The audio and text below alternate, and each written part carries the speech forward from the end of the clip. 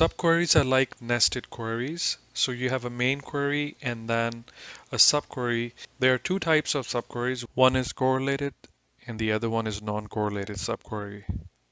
Correlated subquery is dependent on the main query in such a way that for every row in the main query, the subquery gets executed at least once. Non-correlated subqueries are independent of the main query and they get executed once. We have a list of predicates that can be used between the main and the subquery. Exist, not exist, and in are some of the common predicates that we can use and we had some earlier lectures on that. Additional set of predicates are any, all, or some and we'll see some example of those and some comparison operators that can be used as well.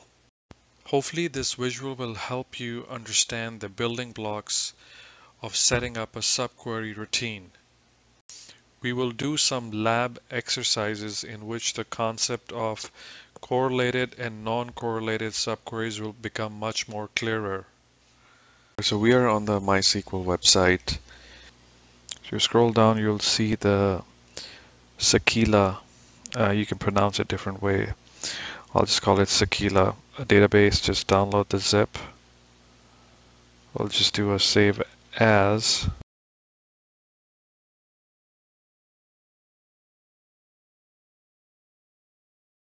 So we have a schema. That's where we're going to have the SQL statements to create our table structures. Then we have uh, data, which is going to be a lot of insert statements creating this Sakila database. And then we have the data model of how these tables are structured and related. All right, so we're going to do a file. We're going to open script.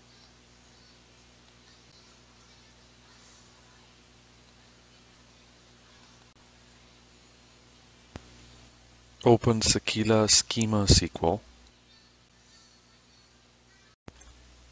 All right, so we have our schema.sql file loaded in MySQL Workbench. So it has a bunch of create statements, uh, creating actor table, address table. So we're going to be creating all our data structures through this script. And it also gives you additional information on the columns that we're going to be adding.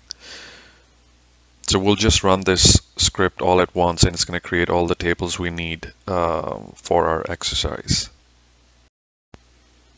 Make sure the cursor is on the start of the script line and then click on the execute icon to execute the script. So just hit hit the uh, hit that icon.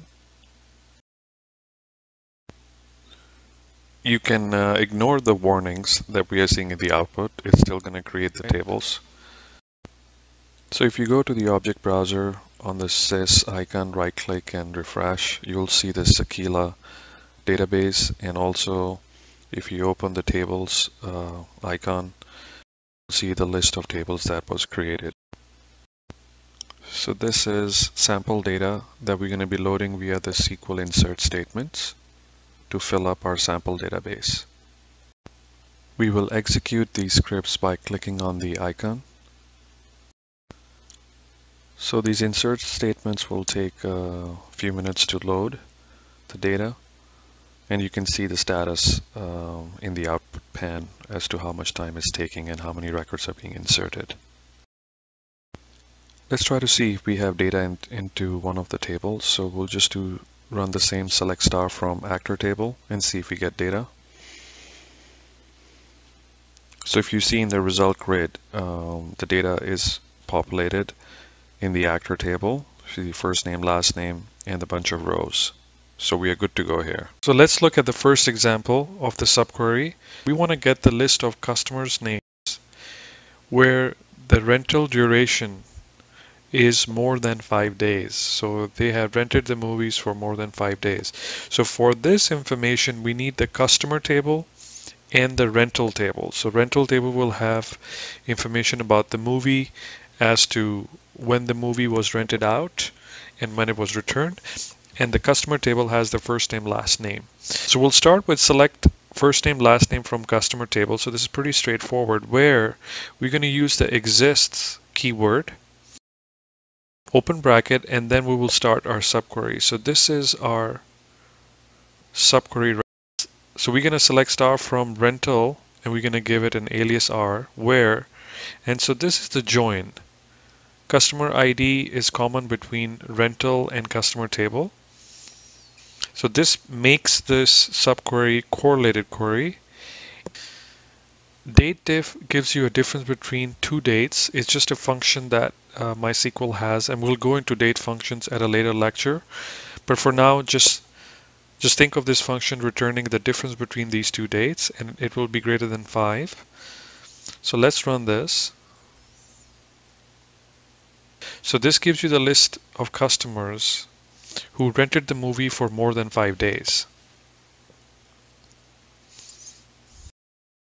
Let's take a second example where we want to get the list of movies that are not available in any stores. So you want to get the list of movies that are not available in any stores.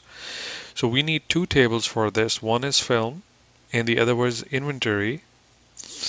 So here we're going to use not exist. So we're going to say select star from film. Give me all the films not exist and then your subquery select star from inventory. So inventory table has a column film ID so we can join the film to the inventory table on film ID so it says not exist. So this will return me all the films that are not in the inventory table. So you can see there's a bunch of movies that are not in any stores. And this is an example of a correlated query as well. So let's take an example of subqueries that are not correlated. So the first one is where we want to get a list of all the payment transactions that are above the average payment amount. So if you look at so if you look at the script, select star from payment where amount, we can just use the operator greater than and then we can use the subquery and in that we just say select average amount from payment. So we're using the same table in the subquery that returns the average amount. And our main query is saying is that select star from payment where amount is greater than the average amount that gets returned from the subquery. So let's run that. So this list gives you all the amounts that are greater than the average amount.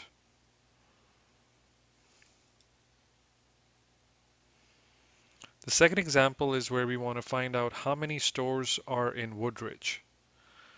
So our main query is select star from store where address in. So we're using the keyword in and we're using the address ID. And the subquery is select address ID from we're using the address table and joining it with the city table in our subquery. So the subquery itself has two tables that we are joining on city ID, where city is Woodridge. So the subquery returns us all the address IDs that exist in Woodridge. And then the main query is pulling data from the store table where the address ID is in this list. So let's run this.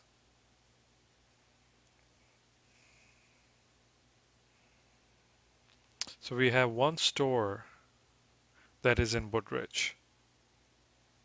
And you can check that by profiling the individual tables as well.